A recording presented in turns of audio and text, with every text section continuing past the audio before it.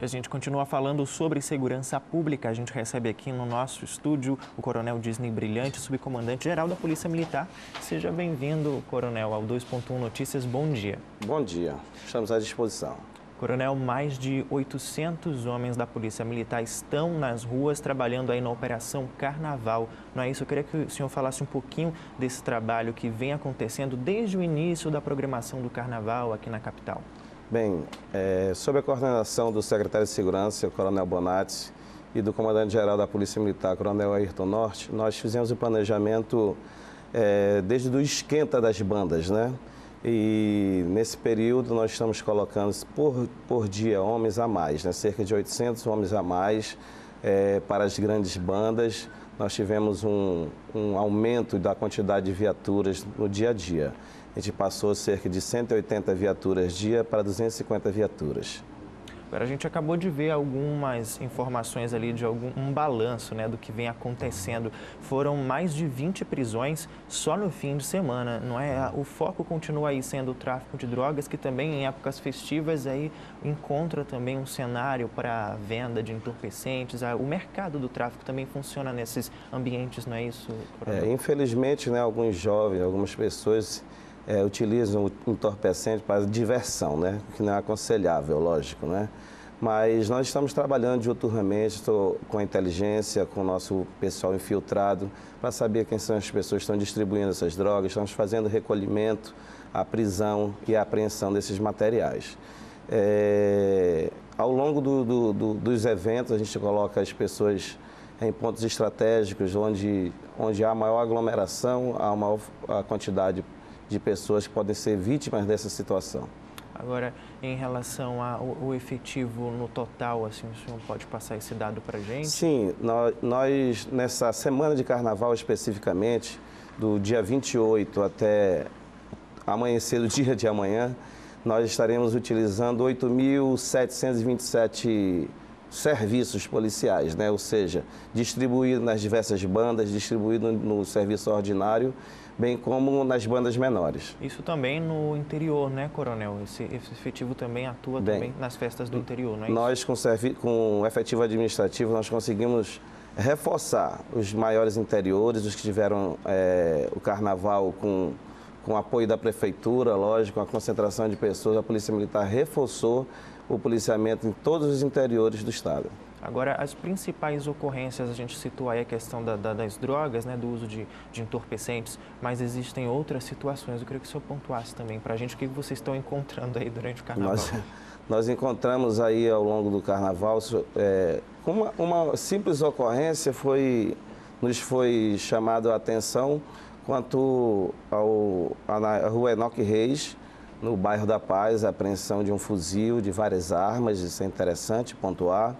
Foi interessante pontuar a quantidade de drogas apreendidas também é, nesse, nesse mesmo período no porto de Manaus. Estava chegando para abastecer as festas, né? Uhum. mais de 60 quilos de entorpecente apresentado já à imprensa.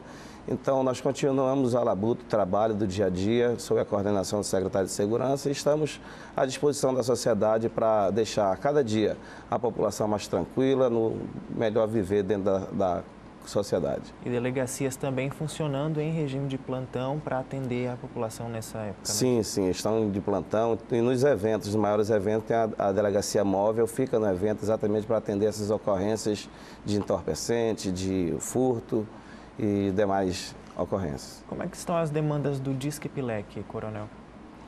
É, diretamente com o Detran, né? Com o Detran, mas eu, eu acredito que esteja funcionando, mas a sociedade não, não está ligando, né? Continua ainda com o absurdo de, eu vi até essa semana um, umas críticas que a Polícia Militar está abordando, mas nós temos que exatamente fazer isso em conjunto com o Detran, Secretaria de Segurança, para evitar acidentes de trânsito, evitar mortes no trânsito. Tem que ter mesmo a operação lei seca.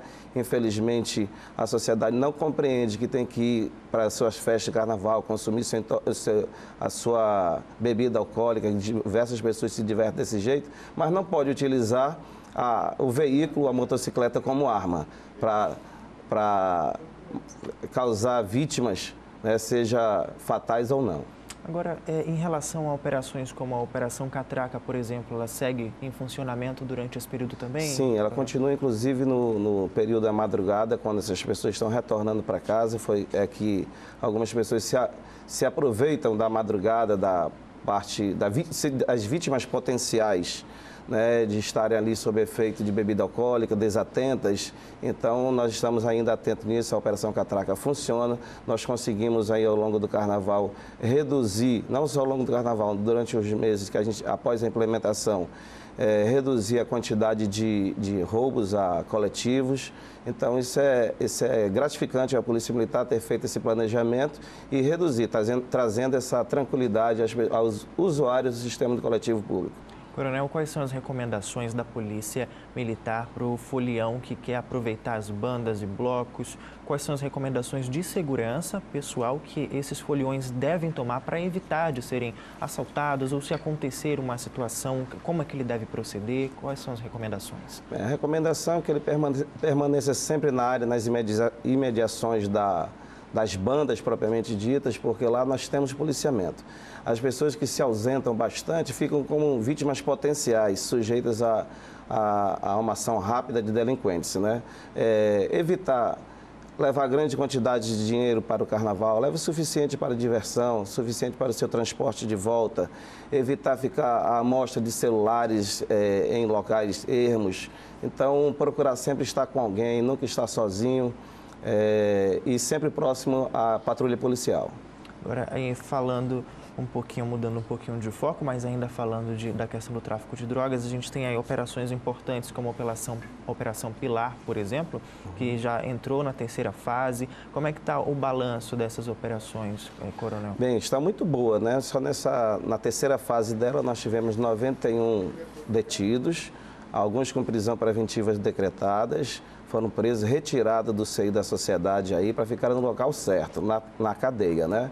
E, e, tivemos grandes apreensões de entorpecente, como já foi falado, e armamento. Ah, o balanço está sendo muito bom. É, ao, ao, final do carnaval, nós traremos os dados concretos, mais específicos quanto à quantidade, mas tem sido muito boa. Isso daí, essa, essa operação nos deu uma maior tranquilidade no carnaval, porque essas pessoas saíram. Com isso, nós estamos evitando roubo, furto, homicídios, com essa apreensão de armamento. Nós estamos privilegiando a família né, ao não uso do entorpecente. Agora, essa questão do entorpecente é, é importante a gente falar, porque cada vez mais a gente vê uma quantidade maior sendo apreendida, né? Quantidades assim muito grandes realmente de entorpecentes sendo apreendidas aí pela polícia em todas essas operações. Às vezes não são nem grandes, assim, são, não são grandes ações policiais rotineiramente, né, coronel? Uhum. Grandes apreensões de, de, de, entorpecentes. É. A nossa inteligência ela tá, tem trabalhado não só na capital, quanto nas fronteiras, né? É, quando o nosso pessoal de fronteira não consegue fazer apreensão lá, nos passa a informação e ao chegar na capital a gente consegue fazer essa apreensão. Nós é, concito a sociedade a continuar denunciando. O 190, 181 são telefones que você não precisa é, se identificar, mas a informação passada a gente vai, vai, vai trabalhar essa produção de, de informação e com certeza é, esse aumento de, de apreensão de entorpecentes é oriundo da denúncia da sociedade, que já não aguenta mais esse tipo de, de crime. O senhor falou aí dos canais de denúncia, só para só reforçar, Coronel. 181 e o 190. Perfeito. Agora a gente também fala da questão dos homicídios. Qual é o panorama, o panorama aqui no momento? Bem, o panorama do mês de janeiro e fevereiro nós conseguimos reduzir em 11%. Né? O mês de fevereiro foram 65 a, a, a 49 homicídios. Uhum. Então nós tivemos essa, essa redução aí. Nós tivemos também intervenção policial que, que foram ações pontuais da Polícia Militar em confronto com bandidos. Eles, infelizmente, é, não resistiram e, e faleceram. Mas dizer assim, que a Polícia Militar não está para brincar. A Polícia Militar está trabalhando, protegendo a sociedade, o homem de bem. Agora, confronto nós vamos confrontar. Essa é a nossa ideia, que não haja é, medo da sociedade quanto a isso, o Polícia Militar vai enfrentar e tem que proteger a sociedade de bem. Coronel, a gente sabe que nessa época também aumentam os casos de importunações sexuais, né? Como é que está o trabalho da, da polícia nesse sentido de coibir também essa eh, questão de assédios contra mulheres, contra crianças também que acontece, não é verdade? Certo. Nós trabalhamos em conjunto, né, com o Conselho Tutelar, com a SES, essa parte preventiva.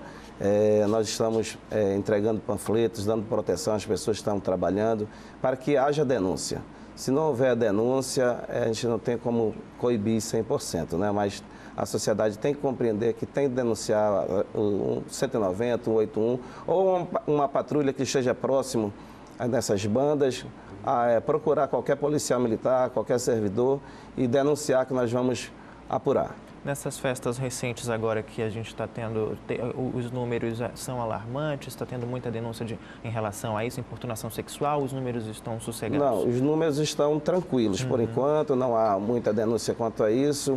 Um caso ou outro mais pontual, mas quando se chega na delegacia não, não há aquela devida prova e o BO tem sido realizado. Entendi, perfeito. Coronel, então, só para a gente terminar aqui a nossa entrevista, é, a gente falar do policiamento ostensivo, a gente está vendo bastante policiais nas ruas ultimamente, né? A questão da, do reforço policial em bairros como o bairro da União, por exemplo, e em outras zonas da capital também. Essas operações, esse reforço policial deve continuar ao longo do ano?